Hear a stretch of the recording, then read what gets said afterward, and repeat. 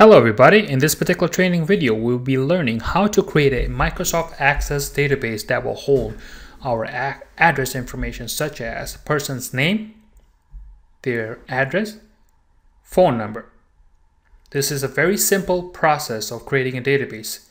So I will walk you through step by step. So what I'll do is on my desktop I have a folder and within this folder I'm going to create a new uh, access database file. So I'll just right click it and then pick the Microsoft Access. And for this one, I'll just call it address and I'll open this up.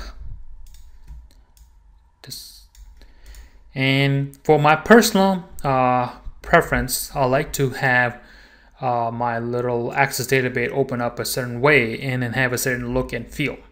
So what I'll do is I will create a database and in this database I will create a table just the way that normal access people would do it and I'll show you the difference between the default way of looking at it and the way I look at it. And you can pick and choose any which way you like. So I'll click on my table design and from here I'll just say name and then I'll pick address and phone number. And I'll leave everything far as the data type goes all text and then I'm gonna click on save so I can save this particular table. And I'll call this T for table and addresses. Address. I do not want any primary key so I'll leave that alone.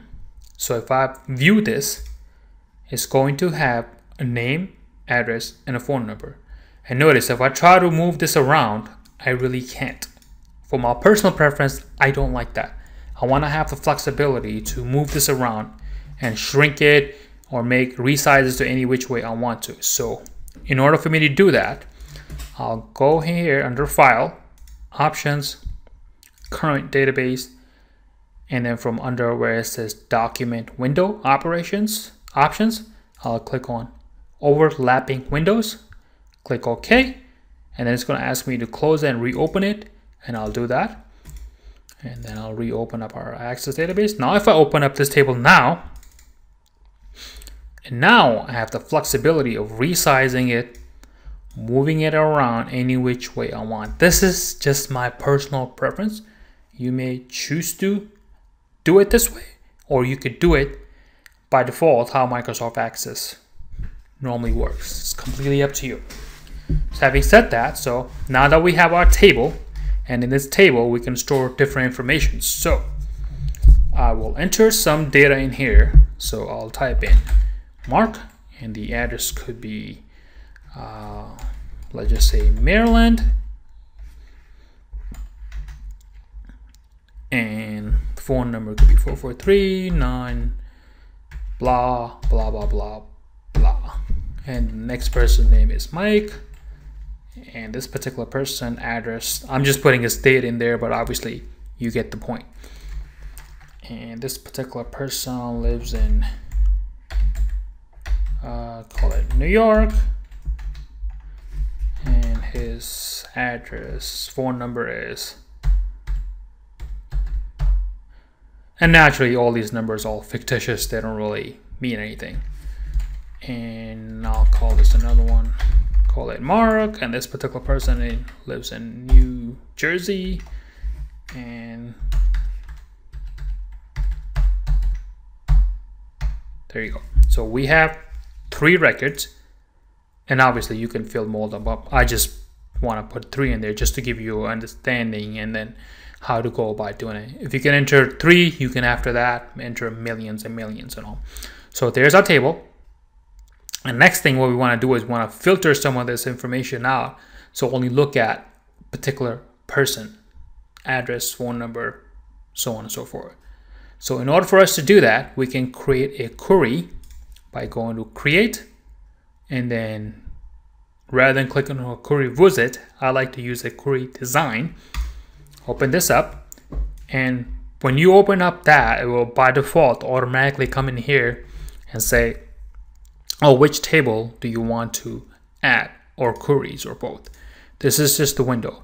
And there are two ways to do this. One way is to click on the table that you want to pick. In this particular example, we only have one table, so we could just click add.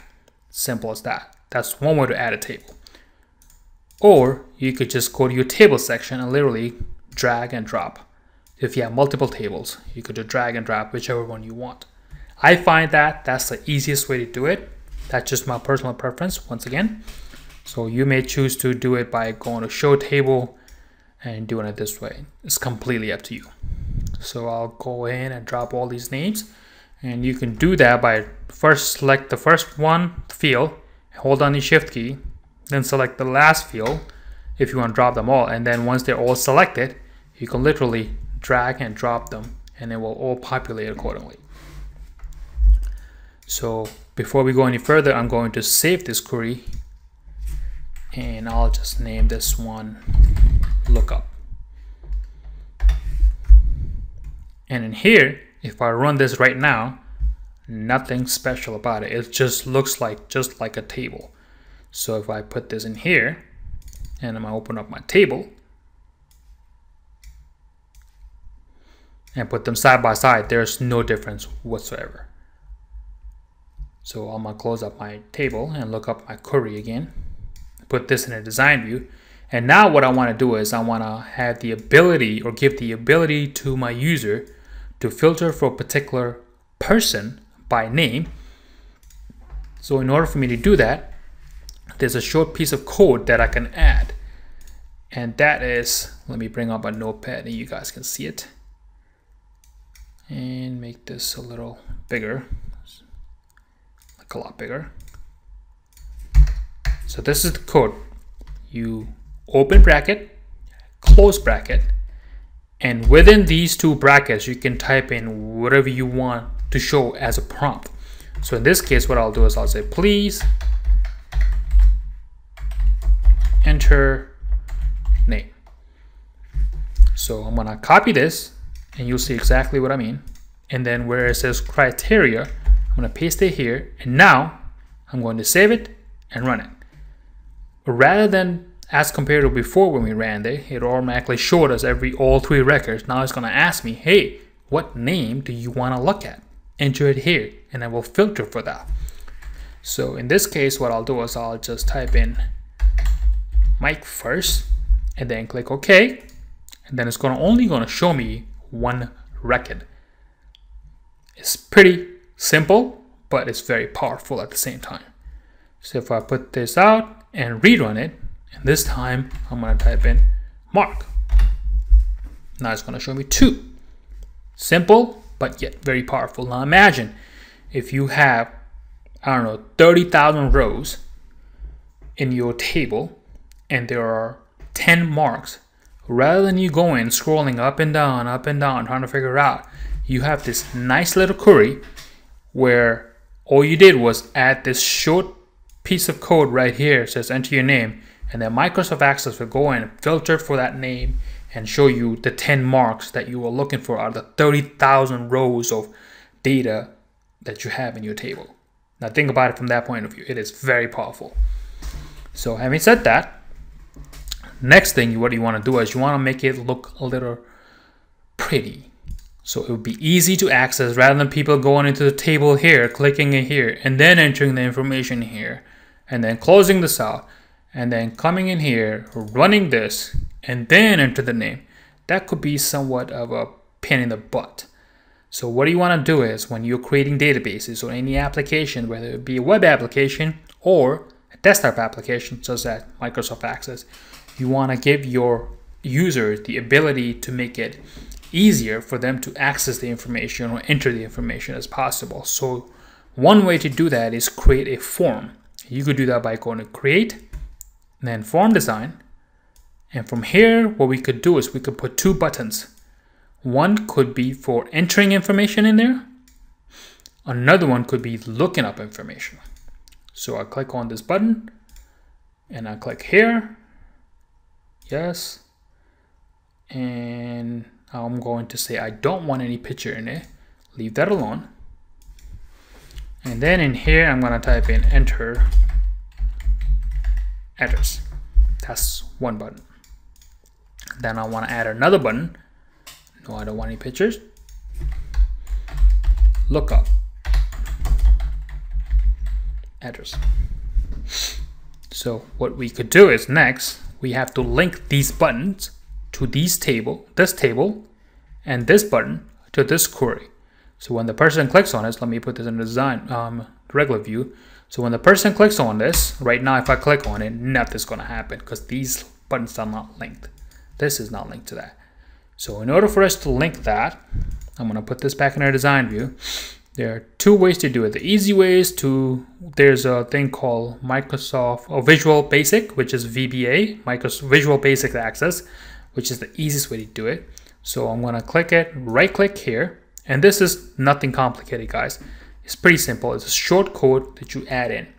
So you, how I did it now is just right click here, and then I click on form property. I know you can't really see it, but trust me, it just right click there, and then you just, actually, what I'll do is just make it a little smaller here so you guys can see the whole screen. Uh, you still can't see it. So hang on, let me make this a little even better pull this up a little so you guys can see it now. So there you go. If I right click here and then click on form properties and then from this screen go to event and then click on this and then uh, what I want to do is the event that I want to pick is on click. When someone clicks on it, I want something to happen. So I click on event procedures and then after that little dot dot dot thing and then this is what is the visual basic window looks like. Not to get intimidated, we're not going to be doing anything crazy here.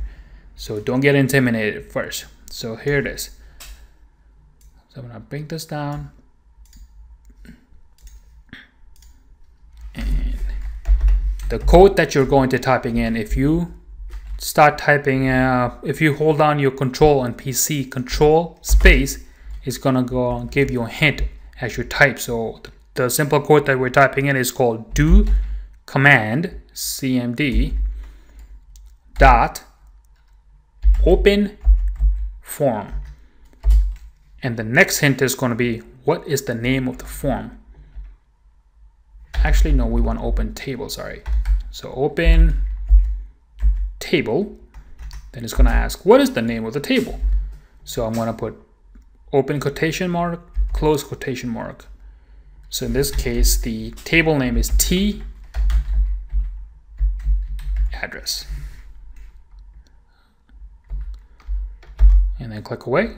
And that is all, one line of code. And I'm gonna click closed and it's gonna ask me, do I wanna save my form? I want to say yes. So I'll call this main.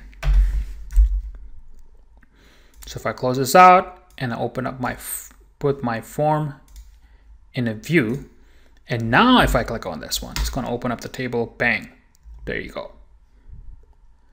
And now I can enter my information here, blah, blah, blah, and go on with my business. The next thing we wanna do is wanna link this button. If I click on it now, nothing is happening. I'm gonna link this button to this query. So go back to design view, same principle, select the button, and then go under, under click event, because that's what I want to do. When somebody clicks on it, I want it to do something. So click event on event procedures. So from here, just like we have a do command open table, in this case, we want to say do command open query. It's simple as that. And the name of the query is Q lookup. Save it, close it, and then let's view it. So if I click on this, it will open up my table where I can enter stuff in there. However, if I'll click on my lookup now, it's going to and go to my query. It's like, hey, what name do you want to look up? So in this case, I'll type in Mark, and it's going to show me the two records. And there you go, guys. That's how you build a simple access database which will hold your address information. And that is under 15 minutes. I'll see you guys in the next video.